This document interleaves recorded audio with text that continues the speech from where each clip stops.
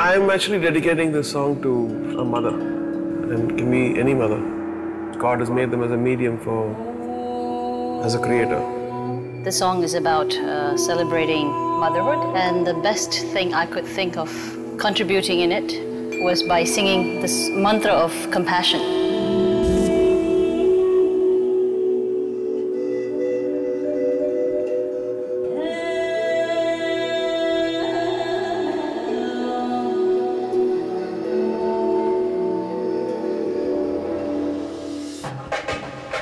The percussion people are from KM Music Conservatory and they have graduated from there. So their first entry to the real world, into the chaos of how it all happens. We auditioned around 40 girls who could sing Hindustani classical and we narrowed down to around eight. So this is based on like five different traditions, this song. It's called the Jordanian traditions.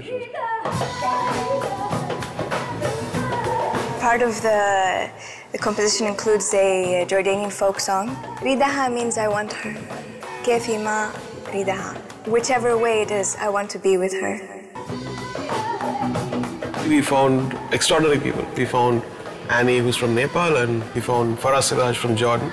And it all mixed together to form this one song of happiness.